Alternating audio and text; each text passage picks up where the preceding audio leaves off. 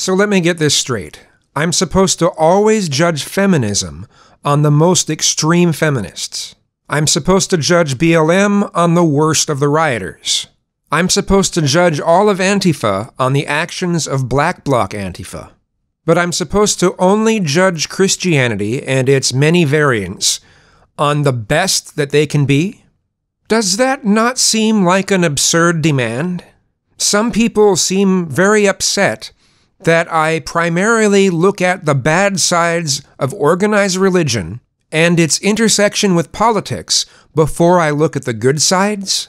There really aren't very many good sides to the intersection of religion and politics, if any. Very few vocal Republican Christians pay much attention to Jesus' teachings. If they claim they do, it's usually virtue signaling. Normally, when right wingers, or more specifically Republicans here in the United States, mix politics and religion, it's either to take away people's rights or to allow businesses to discriminate in any way they want as long as it's based on their religion, right? Am I supposed to look at that in a favorable way? Quite frankly, I find that a lot of left wing Christians seem to follow Jesus' teachings and try to be more like Christ than their right wing counterparts, or most of their right wing counterparts. I have no problem with people who actually try to practice Jesus' teachings. But you know, just in general, I'm supposed to say positive things about organized religion? I'm certainly not the channel to do that. I'm not a religious channel. Abrahamic organized religion utterly destroyed me.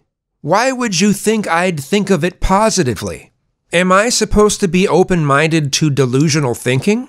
I should really consider the possibility of there being a judgmental Abrahamic God, or I'm closed minded?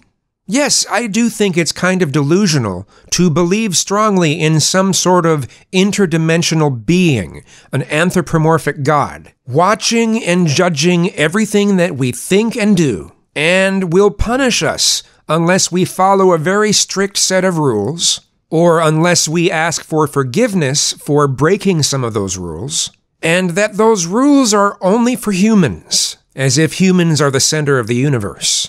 I'm supposed to think that humans are very, very special compared to everything else in the universe, and that we're chosen by God. That kind of thinking that puts humans that high up on a pedestal as compared to the rest of the universe goes right along with how 25% of Americans think the sun revolves around the earth. And about 40% of Americans believe in creationism and reject evolutionary theory. But I'm supposed to be open minded to that kind of thing? I should consider those kinds of views to be just as valid as science and the scientific method? I'm supposed to seriously consider and respect people's religious reasoning when they want to make gay marriage illegal? or when they complain about and demand that gaming companies and Hollywood stop inserting LGBT characters into our entertainment unless they're depicted in a negative way, or discriminate against atheists, or take away a woman's right to remove something growing inside her body. Now, that last one I'm sure people can get huffy and puffy over, but, uh, you know, I don't like abortion.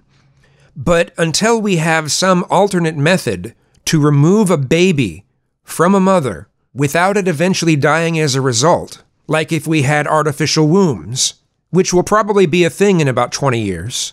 You know, once we have alternatives, then at that point I think most abortions should be illegal. But someone has the right to remove something growing inside their body, whether it's another living human being or not.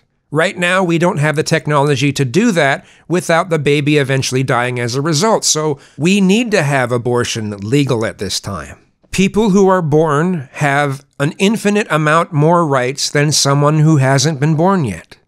You know, but when it comes to all the things that religious right wingers tend to want to make illegal based on their religion, I should consider all of the minute nuance I should consider why they might want to enact those things. Because after all, if I believed the same way they did, I'd side with them on those issues. So, you know, I just need to be indoctrinated and brainwashed to have the same fears and superstitions. And then, and only then will I be considered open minded. No, sorry, fuck that shit. Now, are there things, valid things, to criticize about LGBT activism? Certainly. And I've talked about it many times, although most of those times have been over a year ago, and the people who are new subscribers don't know this, but uh, I don't think we should be indoctrinating young children to believe that their gender clashes with their biology and pumping them full of drugs as a result. No, I'm against that, but that has nothing to do with a religious argument. The moment you mention the Bible in your arguments, you've lost. It doesn't matter if you might have had good arguments mixed in with it. The moment you start using your Bible to justify your beliefs, you've lost, and you have no business trying to interject your religion into the government. If your arguments aren't good enough on their own, what makes you think that referencing a religious book will help you? Church and state need to remain separate. We should have a secular government. Anyway, that's about enough of that for me. Thanks for watching.